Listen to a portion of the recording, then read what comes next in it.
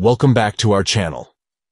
In today's video, we will guide you through the process of starting a group video call in Facebook Messenger.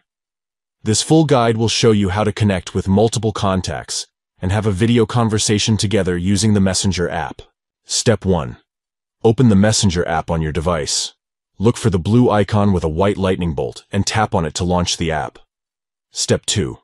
Once the app is open, locate the Calls option at the bottom of the screen. Tap on it to access the calling feature. You'll see a video camera icon. Tap on it to start a video call. Step 3. Next, you'll be presented with different calling options. Tap on Start a new group video call to initiate a group video call. Step 4. Now it's time to select the contacts you want to include in the video call. Choose the participants from your contact list, and once you're done, tap on Next.